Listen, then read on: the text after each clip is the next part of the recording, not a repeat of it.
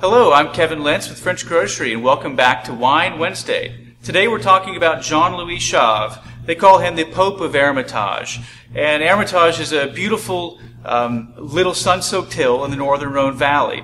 It's continental weather here, so having a sun-soaked slope is really important to the ripening of the wine.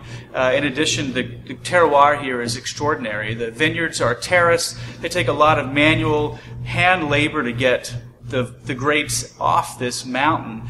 Um, and what we have is one of the most age worthy, most spectacular places uh, for wine to come from. And Jean Louis Chave may be the best. Uh, it's certainly one of the best, the Pope of Hermitage.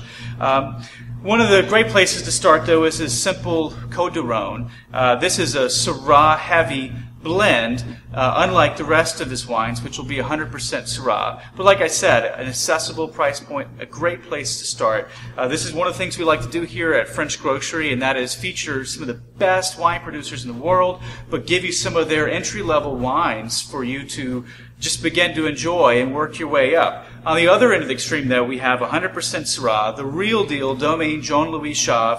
Uh, these are very rare. Uh, they're the centerpiece of a lot of great wine collections all over the world, um, and they've changed people's lives, quite frankly. Um, there are some famous sommeliers and winemakers even who have drunk these wines before with great age and just decided that this was something they were going to begin collecting every single year.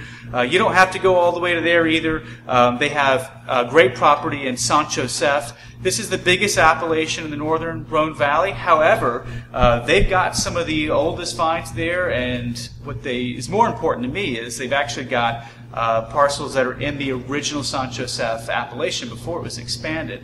So uh, they're Offerus, uh, which is a very accessible price point at 30 bucks. Uh, this is really delicious. It's well pedigreed, it has great ageability. It's also just one of the great um, young Syrahs that you can drink today. Uh, his domain wine, uh, a little bit more expensive uh, but still truly age worthy and, and, worth building your cellar around. Uh, and don't leave out the whites either. Uh, we also have uh, the Blanc for his domain wine, but this is his Negociant label, um, Jean Louis Chave Selection. And uh, this white is spectacular. This is the 2010 vintage. Um, I wouldn't leave this out. Their whites are as satisfying as any of the great white burgundies. Uh, so come in. Like I said, there's there's a place to start. If you're an experienced wine drinker, you've been drinking Great Burgundy or Côte Rôtie even, um, and you've not had these wines before, I, I, one of my best advice would be pick some of these up, put them in your cellar. But uh, any day of the week, you can be drinking either of these wines. Uh, celebrations, you got birth years, put some of these away in your cellar. Uh, we are big fans here of Jean Louis Chave and are always pretty well stocked in it just as best we can. So come join us at French Grocery. Ask me about the wines. We'd love to see you.